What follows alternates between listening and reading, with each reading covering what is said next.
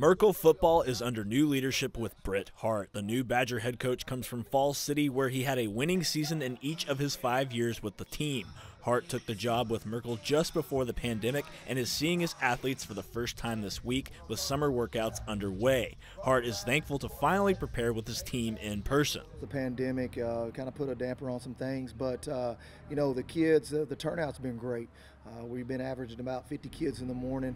Uh, then we have about 15 to 16 kids that work in the afternoon.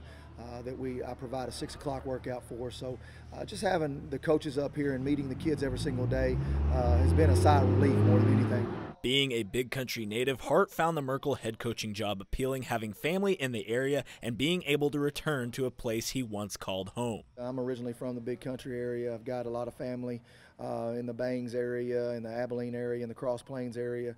Um, so it's just been really good. My wife's originally from Stephenville, so uh, being close to her family has been a plus as well. Hart is teaching the Badgers a new offense, and with the pandemic shutting down the offseason in spring football, learning is not easy during the summer. However, Hart is impressed with how quickly his team is picking up on the new play calls it's just going to take a while for them to kind of learn.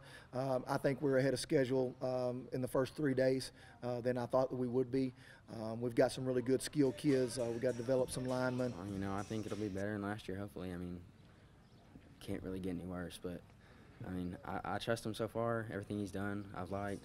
For BigCountryHomepage.com Sports, I'm Max Preston.